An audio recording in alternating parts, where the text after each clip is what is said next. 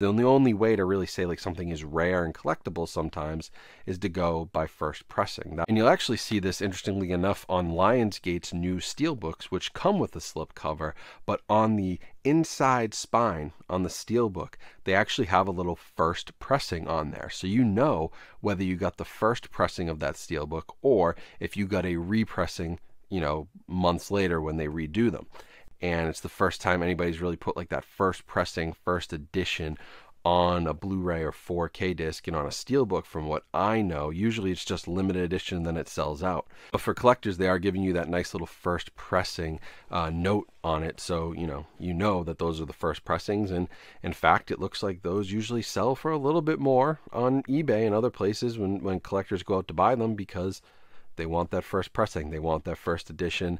That's what's most collectible.